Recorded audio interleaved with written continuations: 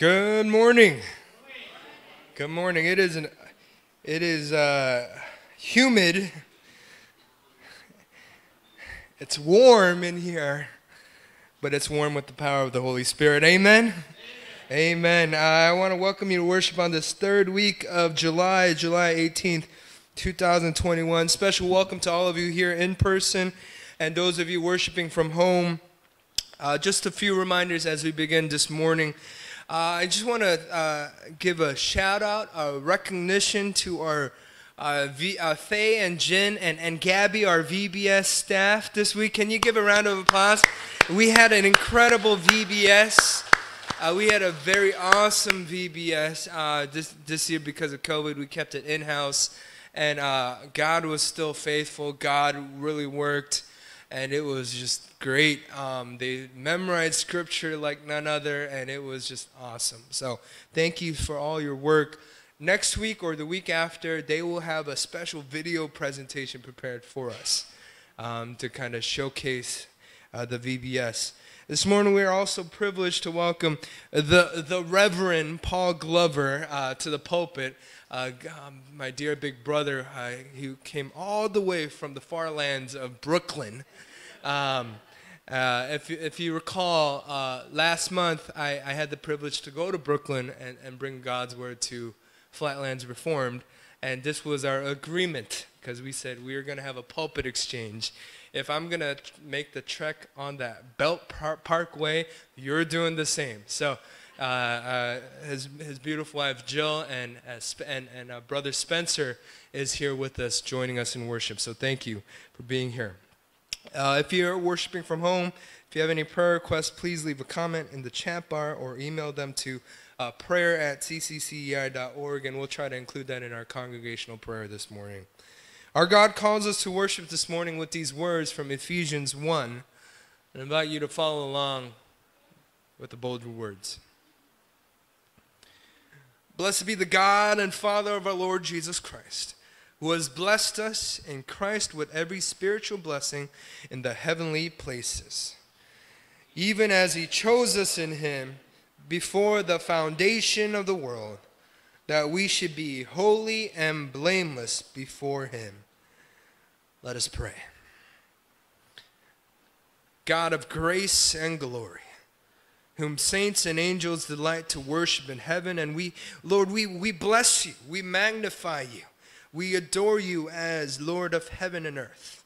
We bless and thank you for all those made saints through Jesus Christ who have testified to your love and share the gifts that which you, which you graced them. May your spirit be powerfully at work through the communion of your saints to build us all up in faith and love for loving service to each other and to the world you so love. This is the day that the Lord has made. We are here to rejoice and be glad in it. For this we pray in your holy name, and all God's people say, Amen. And this morning, I invite you to rise in body or spirit, and let's greet one another uh, this morning. Share God's peace, and if you're worshiping from home, I invite you to share God's peace in the chat bar as we continue our worship.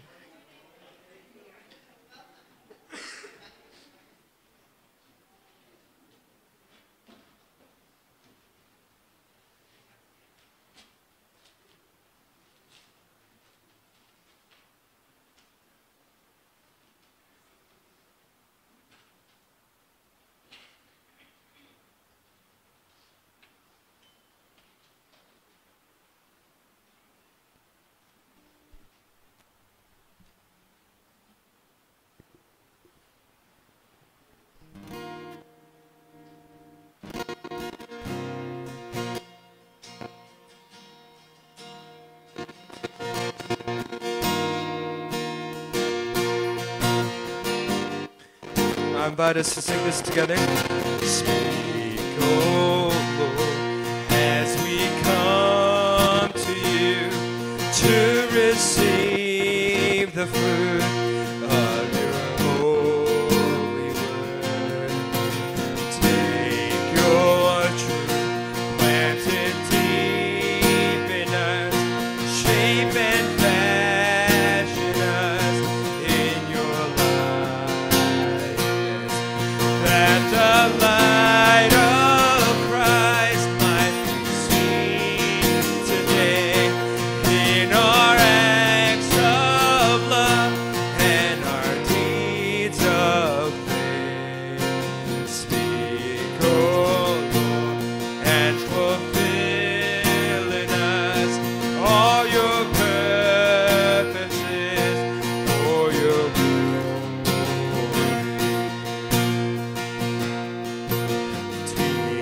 just Lord.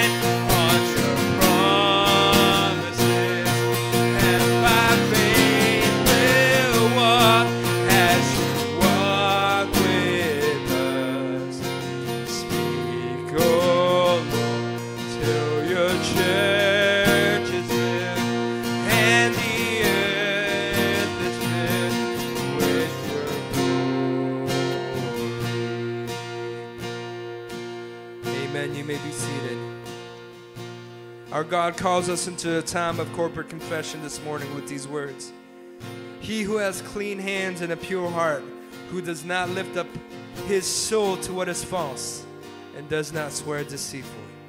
I invite us to reflect back upon this past week if there's any sins, any burdens. I invite us to bring it to the foot of the cross in this time of corporate confession. Let's go to God.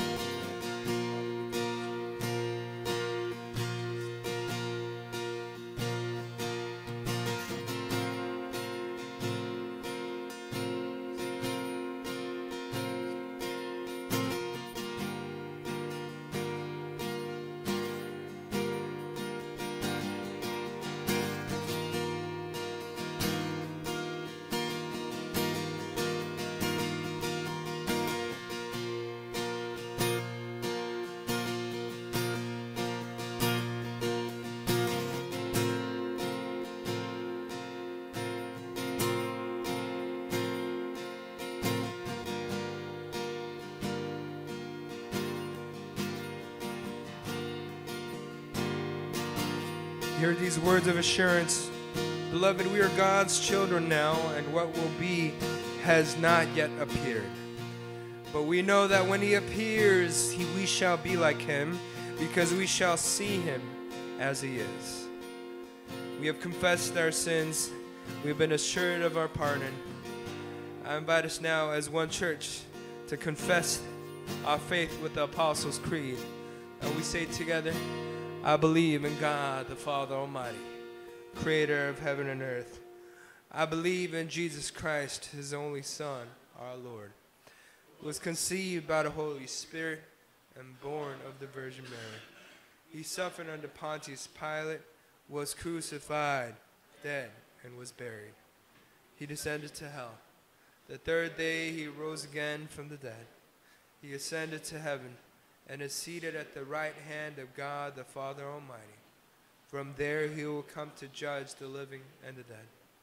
I believe in the Holy Spirit, the Holy Catholic Church, the communion of saints, the forgiveness of sins, the resurrection of the body, and the life everlasting.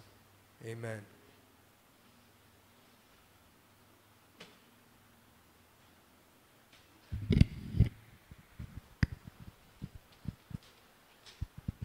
Good morning, everyone. How are you? So, today for announcements, I know the ladies' Bible study is getting together. So, they will be meeting Tuesday, July 27th at 10 o'clock in the fellowship hall for a little time of fellowship. So, that's wonderful to do this summer. And in addition to that, um, the council will meet on Wednesday night. If you have any concerns or any questions, feel free to talk to anyone on council about that. Um, in addition to that, um, yes, we welcome a pastor today, Pastor Paul. Um, it's wonderful to have you here. Um, let's see. And then I know the youth group are doing something. Youth group and young adult. YA1 will be meeting Thursday, July 29th at 7 o'clock. So, any questions? Probably Pastor James or talk amongst yourselves. I'm sure you can uh, get the details on that. And um, yes, we just want to thank everyone for all their help with the barbecue. It was a wonderful time to get together and fellowship. And I think everyone really enjoyed that after a long time of not gathering together. So that was wonderful. So um, let's just see. Are there any prayer? Yes? Hold on. Thanks. Okay. Okay.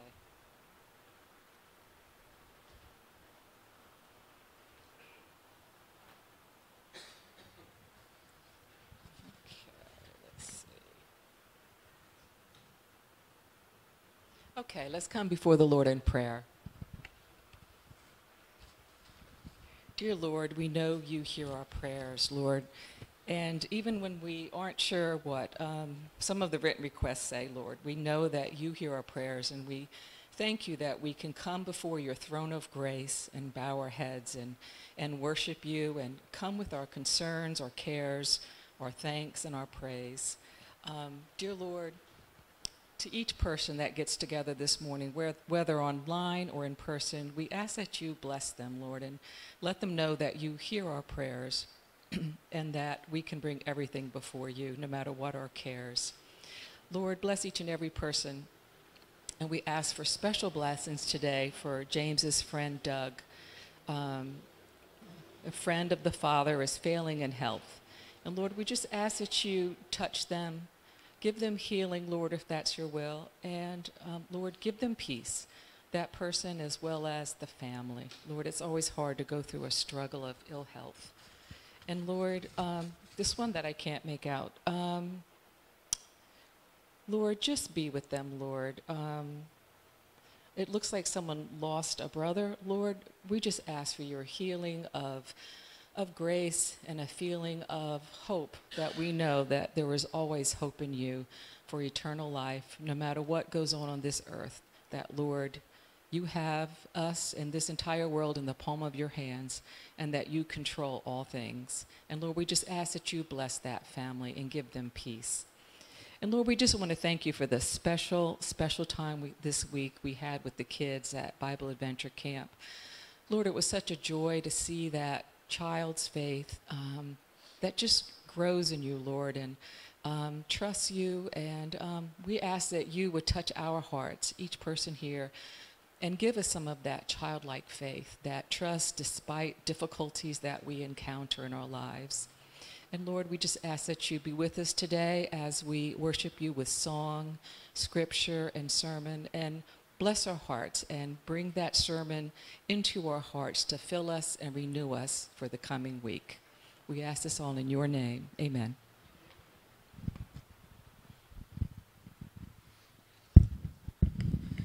God is good and all the time. Special shout out to the online congregation this morning worshiping from home. We have Lynn Olson, Jer Felice, um, Yvette, all the way from Columbia, South Carolina, Michelle Lamberg, Jean Burkle, and my predecessor, Al Lickle. Good morning to you. Um, it's like he's always making sure I'm staying out of trouble or something. Um, so, uh, good morning to you all for worshiping from home, and uh, praise God for technology. Uh, this morning we have the privilege to welcome uh, the Reverend, the Right Reverend Paul Glover to the pulpit. And I just want to share one quick word. Uh, back in April, I had the privilege to uh, go out on a Saturday morning to serve at a food outreach at Flatlands Reformed Church. And Flatlands Reformed Church has over 360 years of Dutch Reformed history, um, good, bad, and ugly. But it was incredible to see this incarnational ministry of um, happening. Uh, it was incredible to see the church step up to the plate amid COVID, right? And and I think it was back in May, right? You guys started within within weeks of the shutdown in March. In May, they got in touch with uh, I think the city, and they were able to give out food boxes every single Saturday morning. And seeing their consistory members, their elders, their deacons step up to the plate every single Saturday morning was mind blowing. It was incredible. It was powerful. And then, not only that, I, once I got caught wind of it, I said, I gotta go check it out. And as soon as I went in April, uh, the I think the vice president or of, of the consistory, uh, she, she put me to work. She said, all right, Pastor, enough talking, get to work. And I'm like, okay, okay. So I was lugging boxes and, and, and saying God bless you to people, but it was just powerful just to see that. Um, just, you know, right here in New York, um, that our fellow sister Reformed Church was stepping up to the plate to do doing mighty kingdom work, and I was just in awe and then as we continue to converse, Pastor Paul said, You're coming to my church to preach. And I'm like, Okay, well, you're coming to my church to preach.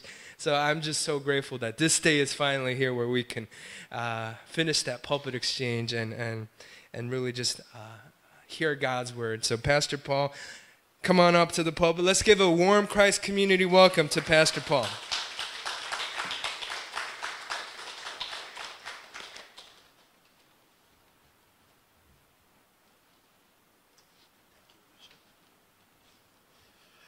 Good morning. Morning. Giving honor, glory, and praise to God this morning and to Christ, who is the Lord of my life. Um, to your pastor, Pastor Lee, the angel of this house, his lovely wife, Jen. I thought I saw her. Um, and their two lovely children, Isaac and Naomi. To the council, Uh, and to you, our brothers and sisters here at Christ Community, I greet you all this morning in the name of our Lord and Savior Jesus Christ. Um, it is truly a honor and a privilege to be with you this morning. And to be honest, this is the first time I have been in in-person worship since I believe the second Sunday in March of last year. We've still worshiping virtually um, because the city just, well, it's the city. But anyway, moving along. Um, you know, and so just sitting there as we were singing that opening hymn and even your order of service, which just goes to show that you can go to any Reformed church and still feel the Spirit of Christ in that community. Oh, wow. Christ community. Oh, okay. Um, and so, again, thank you.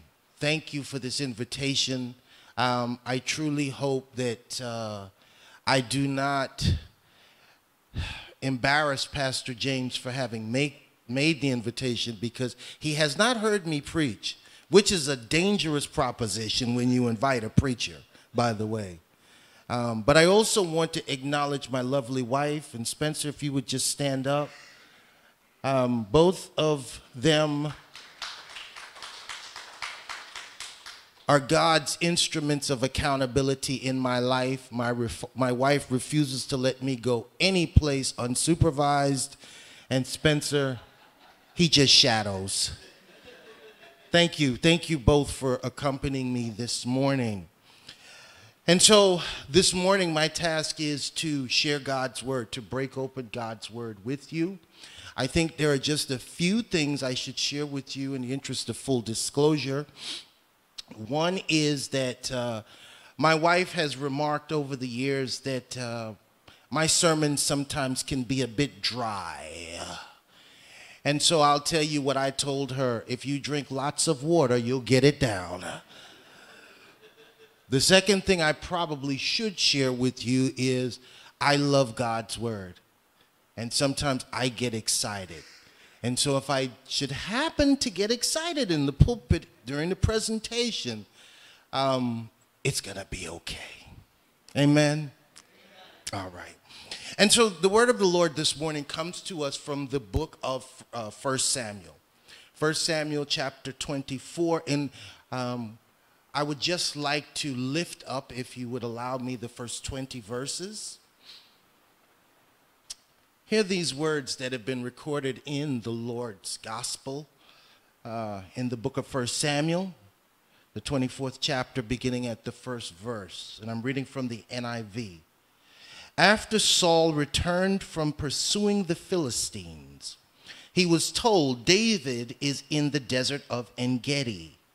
So Saul took 3,000 chosen men from all Israel and set out to look for David and his men near the crags of the wild goats. When he came to the sheep pens along the way, a cave was there, and Saul went in to relieve himself. David and his men were far back in the cave, and Saul said, This is the day. The man said, This is the day the Lord spoke of when he said, To you I will give your enemy into your hands for you to deal with as you wish. Then David crept up unnoticed and cut off a corner of Saul's robe.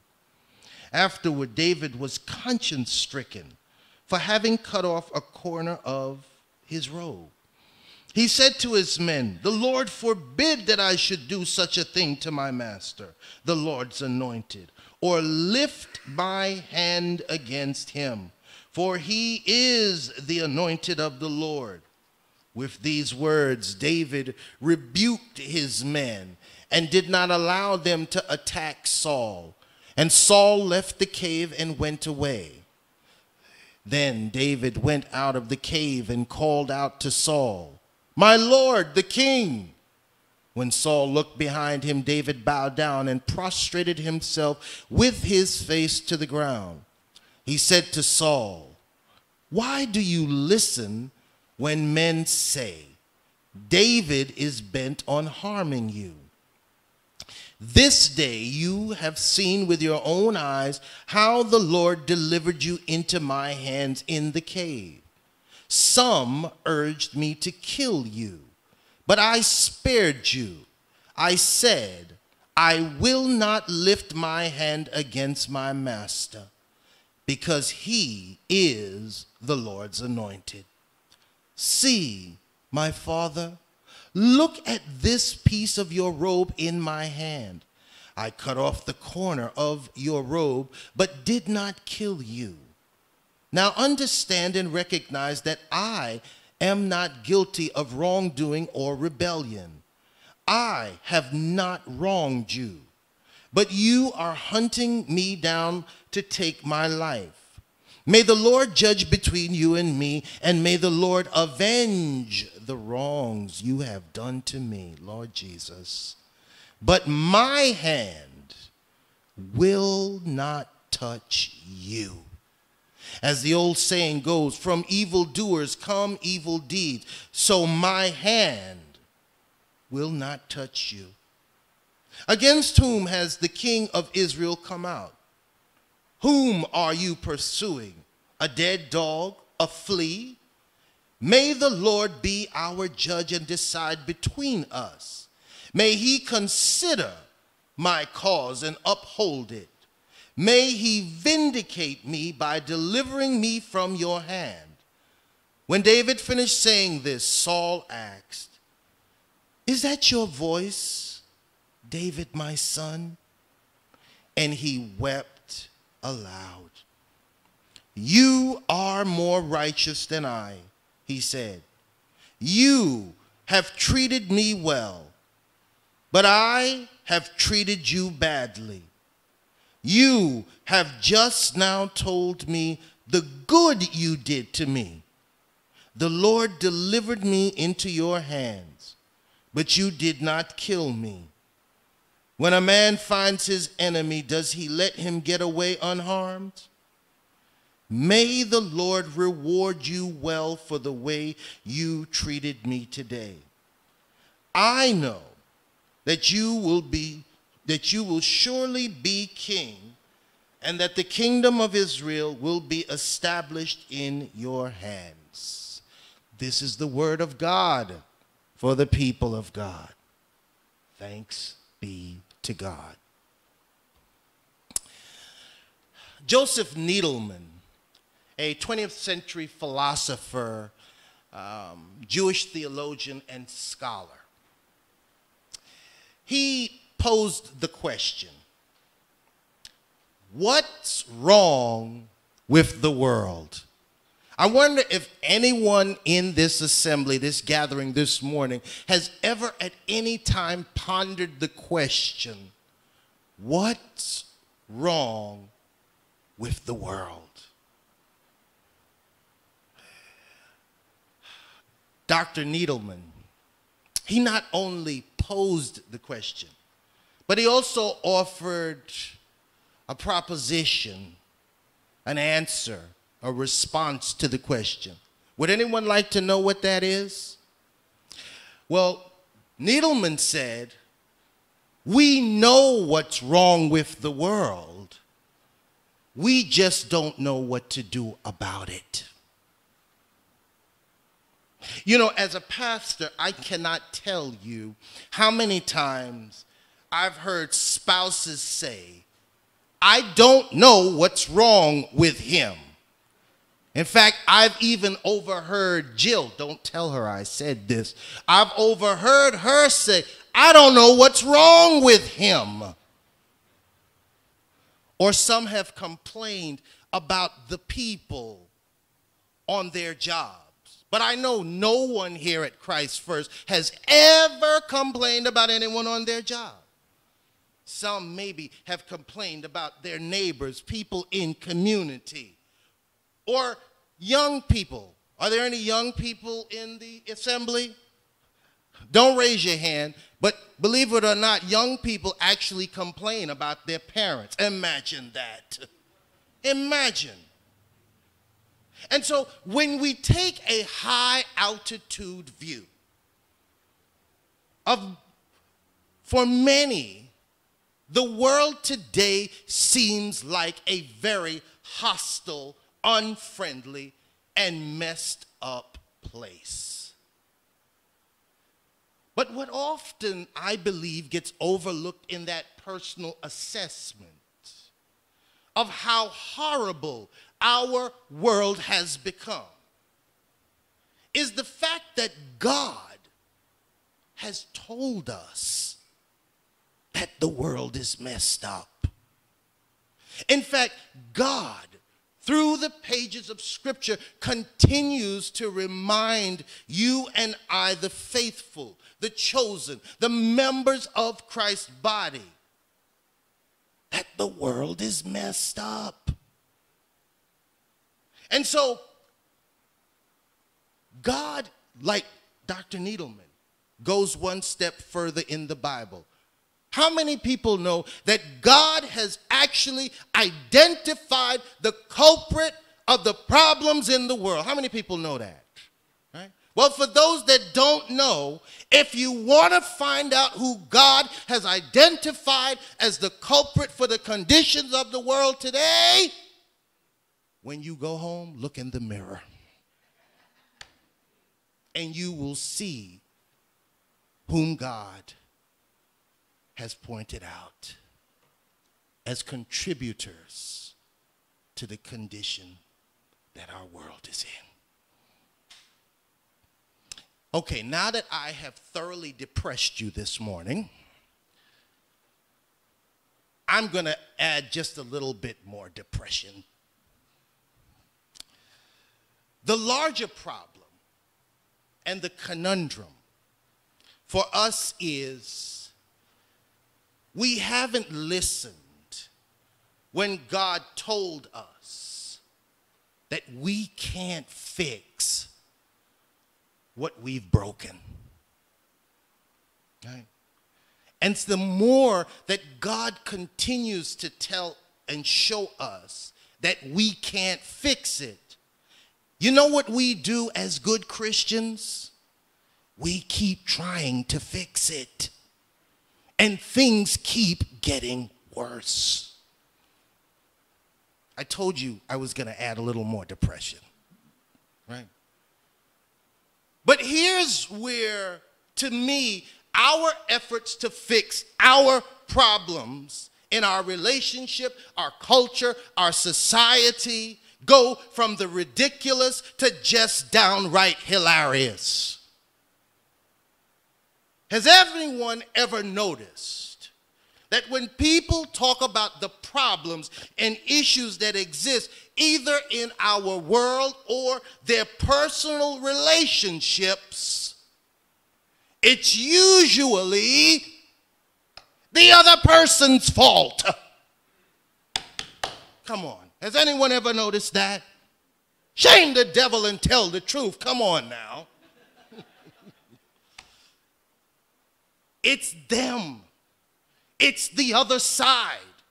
It's him. Or in my case, Jill says it's Paul.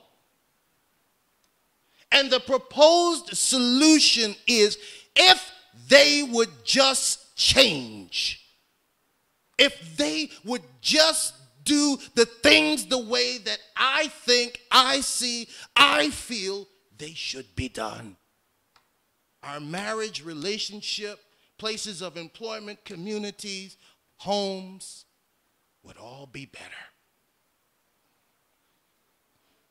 And so when we look at the struggles, the tensions, the problems in David and Saul's relationship, in their minds, in Saul's mind, David was his problem.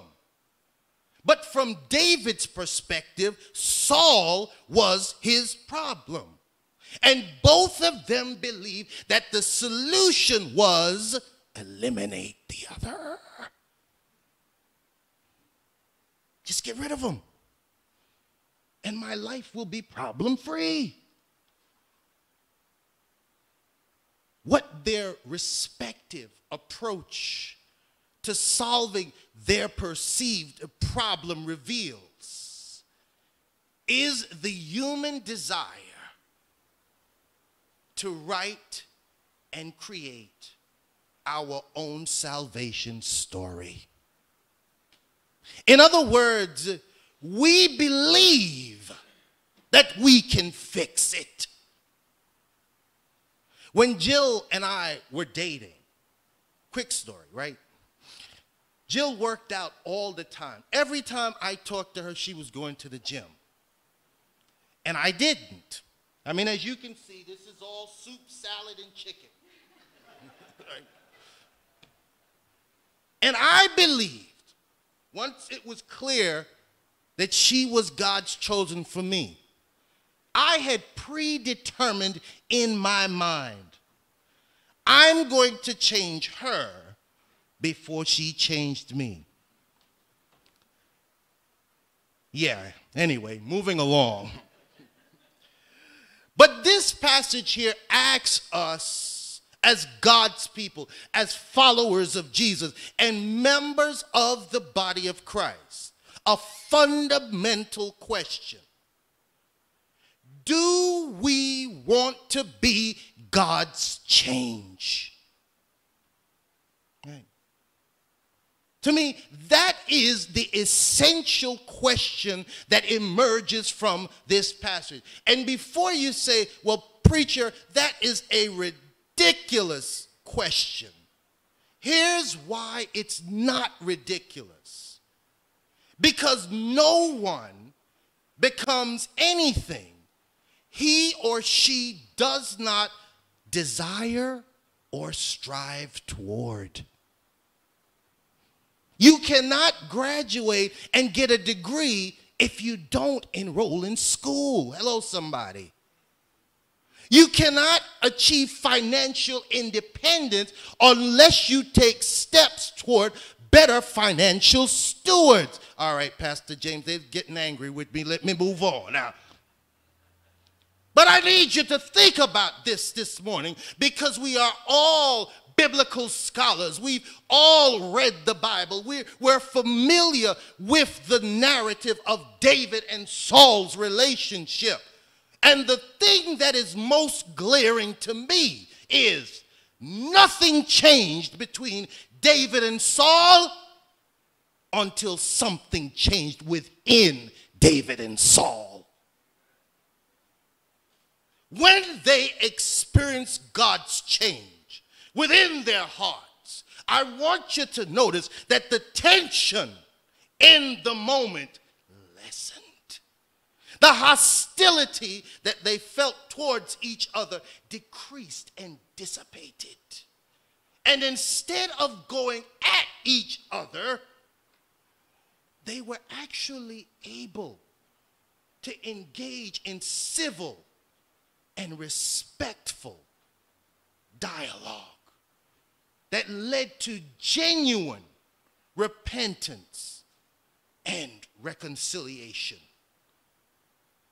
They both acknowledged their mistakes and wrongs.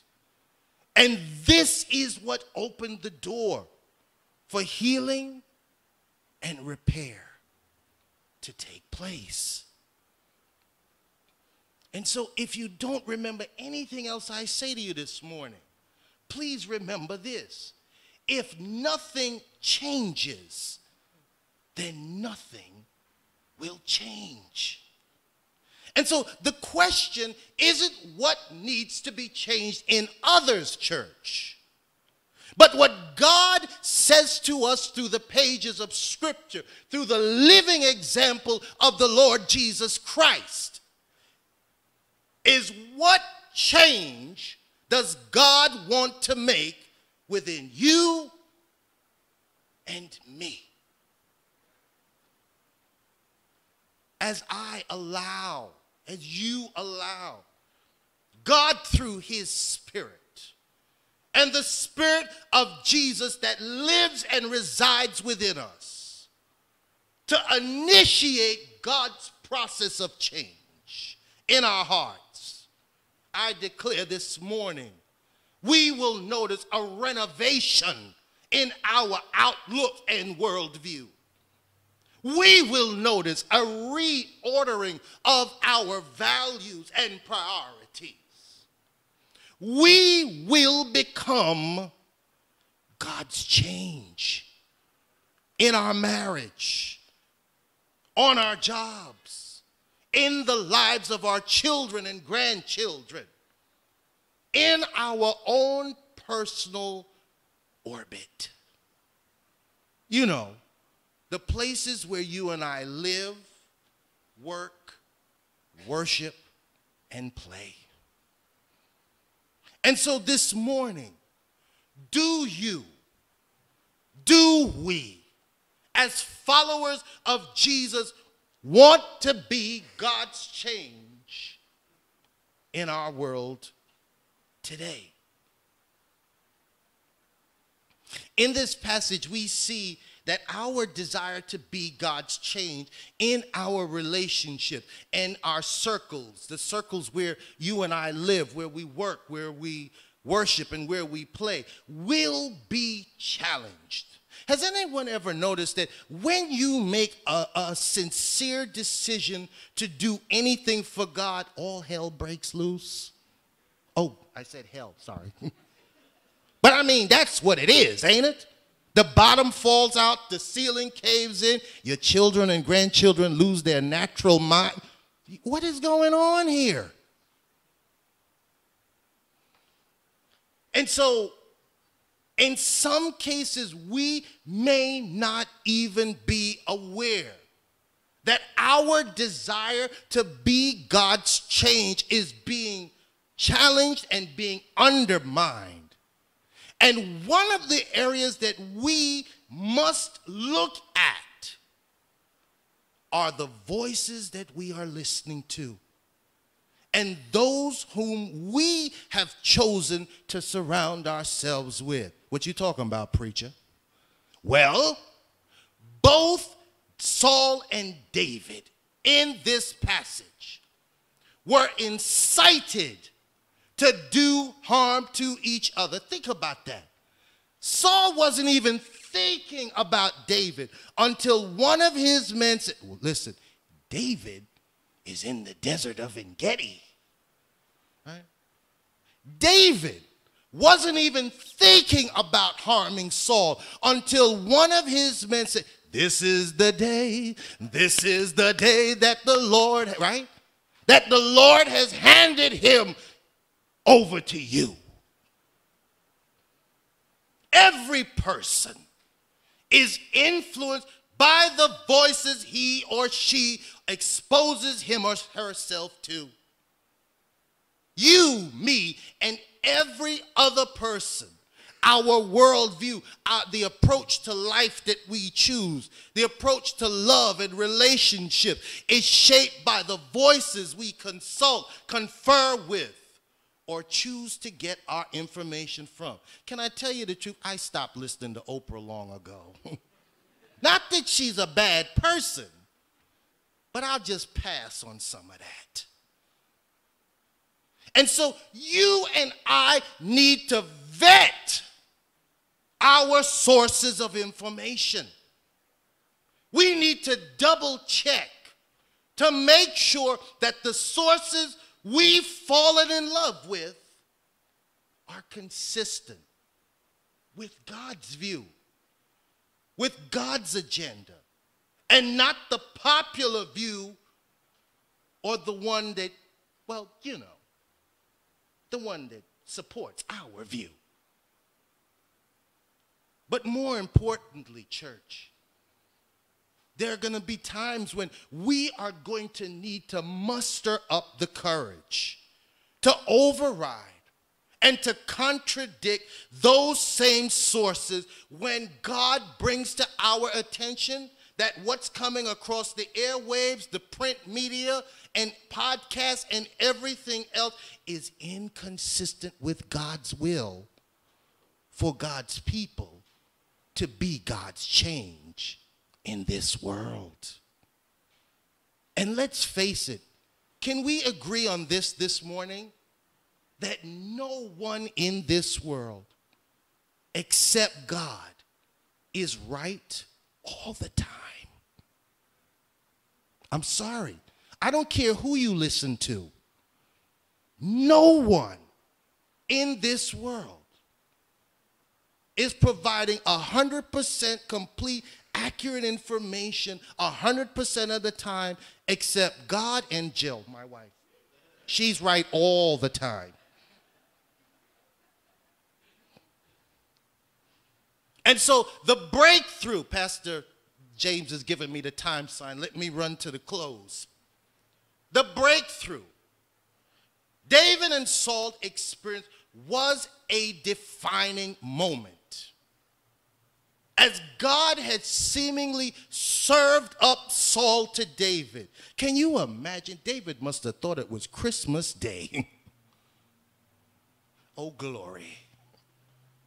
But instead of taking justice into his own hands and giving Saul everything that he deserved. God, in that moment, changed David's heart. And David gave Saul what he didn't deserve mercy, respect, honor, and loving kindness. I need us to really think about that. Because let's face it, sometimes we can get so caught up in revenge, getting even, and our view of justice. But as believers in Jesus Christ, here's what we must never forget. If God were to have given each of us everything that we deserve, no one would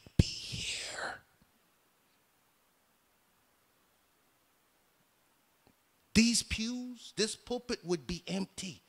If God were to give each of us, and I'm talking especially to those of us that were born saved, you know, those people that come out the womb sinless, have never sinned a day in their life, that even you, if God was to have given you everything that you deserve, you wouldn't be here. The reason this was a defining moment was because other people were watching David. They were watching to see what David would do and how David would act in this moment. And however David acted, however David responded, it was going to carry far reaching ramifications because it would have told the watching world about David's character and the relationship he shared with his God. It would have told the world about this great David. How much did he truly trust God? The God that had delivered and saved him in the past. Did he really believe that God was and is working to recreate a just and peaceable world and society? Did he truly understand that people and life will break and devastate you. But God, God can and will heal and restore you. But here's why you and I should want to emulate David's example. Because when we can show mercy, kindness, and respect to those who don't deserve it. It demonstrates that God's transforming power is at work in us. And it says to those who are watching us that God is unfolding his plan to renew and restore the world, one person at a time. Or let me put it this way when you and I have been changed by God, we'll become God's change in the places where we live, work, worship, and play. I leave you with this. I know this is the third close, right? This is it. I promise. This is it. Here's a challenge. How many, how many of us are willing to accept the challenge this morning? Okay? Here's a challenge for you and for me. And let me just say this. I made a decision, a commitment to God long time ago that as a preacher and a pastor, I will never ask the people of God to do something that either I myself am not doing or am not prepared and willing to do. So I guarantee you, I'm going to do this with you just in Brooklyn.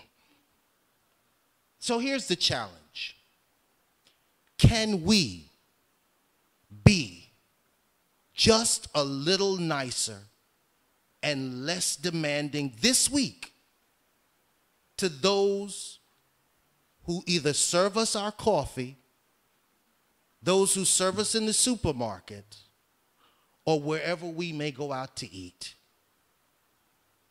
You, everybody with me? You got that?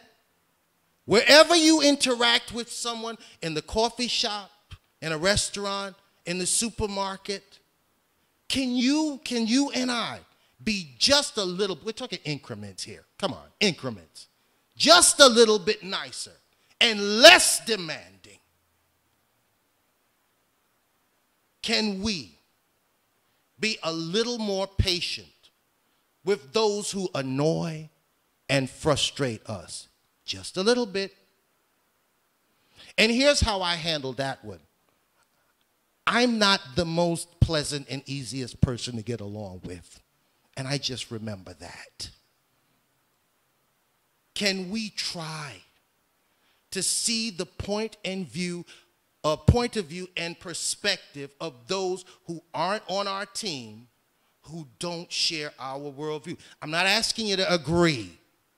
I'm asking you, can we just step back and really try to put ourselves in someone else's position who doesn't see the world the way we do, think about things the way we do. I think they call that empathy, not sure. Can we remember that every time you and I encounter and interact with others, it's a defining moment? It's a moment where you and I have the opportunity to help someone else see Jesus and to see God's life transforming power at work in us and why they too should try our Jesus. Won't you bow your head? Gracious, loving, and eternal God, our Father, Lord, we thank you, we bless you, and we praise you. Father, please forgive the preacher. He was a bit long winded this morning. But we pray, God, that the word that went forth would be a seed sown in the hearts of the people. And that someone this morning, God, would have been encouraged, enlightened, inspired, challenged, and ultimately that we all will be changed and become your change in this world. In the mighty, matchless name of Jesus, we pray. And all God's people said, Amen. Amen. All right.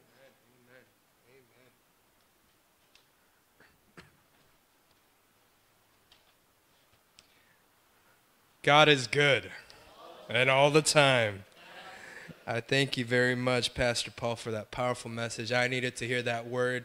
I'm sure all of us needed to hear that word and you were not long-winded. You didn't go long, so I mean, you could have had, you could have gone a, a couple more minutes, you know. Uh, church, I invite us to rise in body or in spirit as we respond to the word, as we reflect upon the word. I invite us to sing in response to the hymn, "Great is Thy faithfulness," as we remember the power of God's word in these defining moments.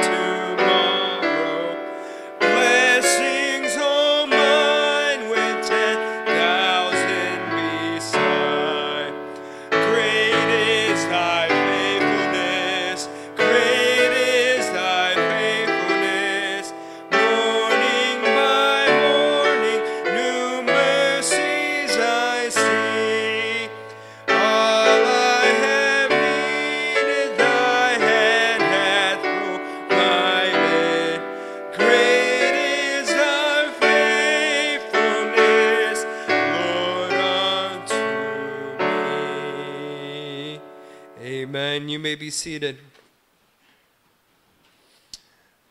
As always, uh, online offering is available uh, through Venmo uh, and through Zelle. The information is available in your worship bulletins as well as on our website. Uh, if you're here worshiping in person, the offering plates are available in the back with envelopes as you leave after the service. So please bow your heads with me as we pray for offerings and our tithes. Lord, as we reflect on the story of David and Saul, as we uh, stand in awe of your sovereign power. Father, we give these offerings and tithes to you. We give what is not ours to you. Father, we pray that you may multiply these offerings for your glory's sake. Father, we also remember our, our, our brother Michael, our, our, uh, one of our elders, as he proclaims God's word at our sister church, Massapequa Reformed Church, this morning. We pray that you may bless him Pray that you may speak through him mightily, that the word of God will be proclaimed. Father, we pray for those who are doing mission work near and near and afar. We pray that you may continue to be with them even in this pandemic. We pray for protection. We pray that these offerings and these missionary offerings will be used mightily so that your name will be proclaimed from nation to nation and across the world. We thank you once again for the power of the gospel. It's in Jesus' name we pray, and all God's people say, Amen. I'm about us to rise once again in body or in spirit, and we'll worship the Lord with the new doxology, and the Reverend Paul Glover will give the benediction.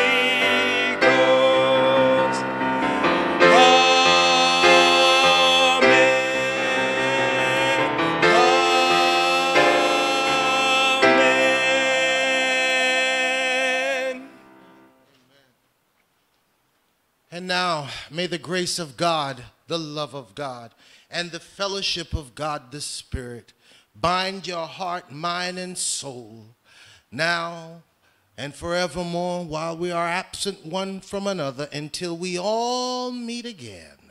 And God's people said, Amen. Go in peace, saints of God.